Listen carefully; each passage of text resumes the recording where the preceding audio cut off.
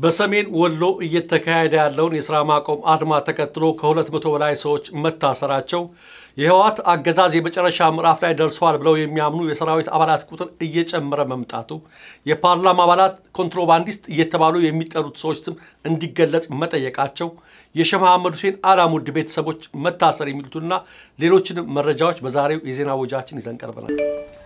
ተነሽ ተነሽ ተነሽ። ቆይ ቆይ፣ አሁኑኑ ነው ክፍያ ማድረግ የምፈልገው።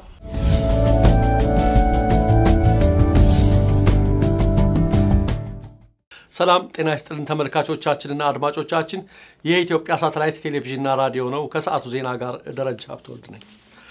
በሰሜን ወሎ እየተካሄደ ያለውን የስራ ማቆም አድማ ተከትሎ ከሁለት መቶ በላይ ሰዎች ታሰሩ። በወልዲያ፣ በመርሳ፣ በሲሪንቃና ቆቦ ከተሞች በመካሄድ ላይ ያለውን የስራ ማቆም አድማ ተከትሎ ከትናንት ጀምሮ ከሁለት መቶ በላይ ዜጎች ታስረዋል። ከታሰሩት መካከል የመንግስት ሰራተኞች፣ የሃይማኖት አባቶች፣ ታዋቂ ነጋዴዎችና ወጣቶች ይገኙበታል። በርካታ ወጣቶች ከተያዙ በኋላ ወዳልታወቀ ስፍራም ተወስደዋል። ወኪሎቻችን እንዳሉት ከፍተኛ የእስር ዘመቻ እየተካሄደ ያለው ወልዲያ ላይ ነው።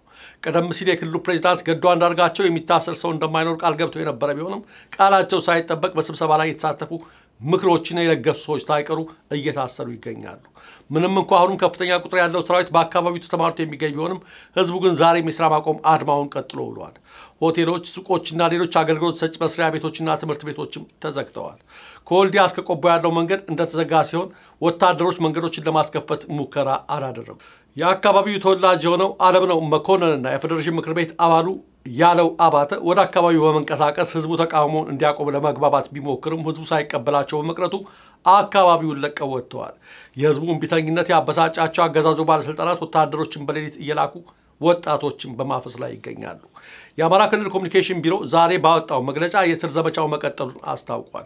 በሰሜን ወሎ የሚደረገው ህዝባዊ ለውጥ እንቅስቃሴ በዲሞክራሲና የመልካም አስተዳደር እጦት የተነሳ መሆኑን የክልሉ መግለጫ ቢጠቅስም ጥያቄውን ለማቅረብ የተሄደበት መንገድ ትክክል አልነበረም በማለት አወግዞታል። የአማራ ክልል መግለጫ በርካታ ወጣቶችን ማበሳጨቱን ወጣቶቹ ለኢሳት ተናግረዋል።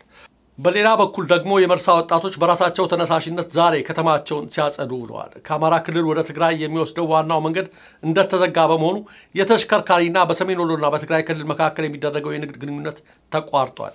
ይህ በእንዲህ እንዳለ በሰሜን ወሎ የተነሳውን ተቃውሞና የተወሰደውን የኃይል እርምጃ በመቃወም የአማራ ክልል ልማት ቤቶችና ኮንስትራክሽን ቢሮ የ2010 በጀት ዓመት የመጀመሪያ መንፈቅ ዓመት የቅድ ግምገማ ስብሰባ ጥር 17 ቀን 2010 ዓ ም በተደረገበት ወቅት አብዛኞቹ ሰራተኞች ሳይገኙ ቀርተዋል። የተቋሙ ሰራተኞች በወገኑ እልቂትና ጉዳት ከልብ በማዘን ከስራ በፊት ሰላም ይቅደም በሚል መርህ አንሰበሰብም ማለታቸው ታውቋል። በወይዘሮ ገነት ገብረ እግዚአብሔር የሚመራው መስሪያ ቤት ቀኑ ሙሉ የተገኙና በከፊል የተገኙ ሰራተኞች ስም ዝርዝር እንዲላክ የሚያሳስብ ደብዳቤ መጻፋቸውንም የደረሰን መረጃ ያመለክታል።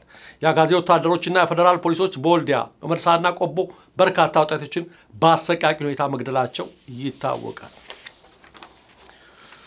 የህወሓት አገዛዝ የመጨረሻ ምዕራፍ ላይ ደርሷል ብለው የሚያምኑ የሰራዊቱ አባላት ቁጥር እየጨመረ ነው። የመከላከያ ምንጮቻችን እንደገለጹት በህወሓት ውስጥ የተፈጠረው መከፋፈል እንዲሁም በተለያዩ የሀገሪቱ ክፍሎች የሚታዩ ተቃውሞዎች መበራከትና አገዛዙ በቂ መፍትሄ ሊያመጣ አይችልም የሚለው ስሜት በሰራዊቱ ዘንድ እየተጠናከረ መጥተዋል። የመከላከያ አዛዦች ባደረጉት ቅኝት አብዛኛው ሰራዊት በስርዓቱ ተስፋ ቆርጧል። በተለያዩ የሀገሪቱ ክፍሎች የሚካሄደው ተቃውሞ ትክክለኛና ተገቢ እንደሆነ የሚያምኑት የሰራዊቱ አባላት ግብረ መልሳቸው ከብሔር ብሔር እንደሚለያይም ለማወቅ ተችሏል። አብዛኞቹ የአማራና የኦሮሞ ብሔር የሰራዊት አባላት ስርዓቱ ራሱን ካለወጠ በቅርቡ ይወድቃል ብለው እንደሚያምኑ ሲገልጹ፣ የትግራይ ብሔር የሰራዊት አባላት በበኩላቸው ህወሓት ለውጥ ማምጣት ትችላለች ብለው ያምናሉ። አብዛኛው ሰራዊቱ አባላት እድሉን ቢያገኙ ለመጥፋት ወይም የተቃዋሚ ኃይሎችን ለመቀላቀል ፍላጎት አላቸው። የሰራዊቱ የትግል ወኔ መውደቅ ያሳሰባቸው የመከላከያ አዛዦች በቅርቡ የተሃድሶ ዘመቻ ሊጀምሩ ይችላሉ። 95 በመቶ የሚሆነውን የመከላከያ ስልጣን ተቆጣጥረው የሚገኙት የህወሓት አዛዦች በሌሎች ብሔር ተወላጆች የሰራዊት አባላት ላይ ያላቸው እምነት እየተመናመነ መምጣቱ እንዳሳሰባቸው በቅኝቱ የተሳተፉ የመከላከያ ምንጮች ገልጸዋል። የፓርላማ አባላት ኮንትሮባንዲስት እየተባሉ የሚጠሩት ሰዎች ስም እንዲገለጽ ጠየቁ። ጥር 22 ቀን 2010 ዓ ም የግማሽ ዓመት ሪፖርታቸውን ለፓርላማ ያቀረቡት የገቢዎችና ጉምሩክ ባለስልጣን ዋና ዳይሬክተር ሞገስ ባልቻ የኮንትሮባንድ ነጋዴዎች መቆጣጠር ካልተቻለ ትልቅ የኢኮኖሚና የፖለቲካ ቀውስ እንደሚፈጠር አስጠንቅቀዋል። የፓርላማ አባላቱም እነዚህን ኮንትሮባንድ ነጋዴዎች ስማቸው እንዲገለጽላቸው ለባለስልጣኑ ጥያቄ ቢያቀርቡም ባለስልጣኑ ግን መልስ ለመስጠት ፈቃደኛ አልሆኑም። ሪፖርተር እንደዘገበው አንድ የፓርላማ አባል ስሙ የማይጠራው ኮንትሮባንዲስት ማን ነው ሲሉ፣ ሌላው የፓርላማ አባል ደግሞ ገቢዎችና ጉምሩኮች በእነዚህ ኃይሎች ጡንቻ መታሰሩን ገልጸዋል። በአሁኑ ወቅት አንድ ብሔር ነጥሎ የማጥቃት ግጭት እንዲፈጠር ምክንያት ናቸው የተባሉ ኮንትሮባንድ ነጋዴዎች መሆናቸውን በመጥቀስ የተናገሩት የፓርላማ አባሉ የውጭ ንግድ በሚካሄድባቸው መስመሮች ድንገት መብራት ከጠፋ ኮንትሮባንድ የጫኑ መኪኖች እያለፉ መሆኑ በገሃድ ይታወቃል ብለዋል። የባለስልጣኑ የሕግ ማስከበር ዘርፍ ኃላፊ አቶ ዘመር ተፈራ የኮንትሮባንድ ነጋዴዎችን ስም ከመግለጽ የሚወሰደውን እርምጃ መጠበቅ የተሻለ ነው ብለዋል። በሀገር አቀፍ ደረጃ ለተቋቋመው ግብረ ኃይል የኮንትሮባንዲስቶችን ስም ዝርዝር ማቅረባቸውንም ጠቅሰዋል። የባለስልጣኑ ዋና ዳይሬክተር ኮንትሮባንዲስቶቹ የራሳቸው መጋዘን ያላቸው በኔትወርክ የተደራጁና ተግባራቸውም በአሁኑ ወቅት አሳሳቢ ነው ሲሉ ተናግረዋል። ሼህ መሐመድ ሁሴን አላሙዲን የተጠየቁትን አልከፍልም በማለታቸው ቤተሰቦቻቸው እንዲታሰሩ መደረጉ ተዘገበ። በሳዑዲ አረቢያ መንግስት በሙስና ተጠርጥረው በሪስ ቻርልተን ሆቴል ውስጥ ከተለያዩ ልዑላን ባለስልጣናትና ነጋዴዎች ጋር የታሰሩት ሼህ መሐመድ ሁሴን አላሙዲን በስር እንደሚቆዩ የሳዑዲ መንግስት ውሳኔ ማሳለፉ ተዘግቧል። ለሼህ መሐመድ ሁሴን አላሙዲን በስር እንዲቆዩ የተደረገው የተጠየቁትን ገንዘብና ንብረት ለመስጠት ፈቃደኛ ባለመሆናቸው ነው። ይህን ተከትሎ ከሼህ መሐመድ ሁሴን አላሙዲን ጋር ቤተሰቦቻቸውም አብረዋቸው እንዲታሰሩ ተደርገዋል። በእስር ላይ ከሚገኙት ቢሊዮነር ባለሀብቶች መካከል አንዱ የሆኑት ሼክ ሳልህ ካሚል አራት ቢሊዮን ከፍለው ከእስር ተፈተዋል። ባለሀብቱ ክፍያውን የፈጸሙት በሳዑዲ አረቢያ ገንዘብ በሪያል ይሁን በዶላር ግን አለመገለጹን አልጅዲድን ጠቅሶ Middle East Monitor ዘግበዋል።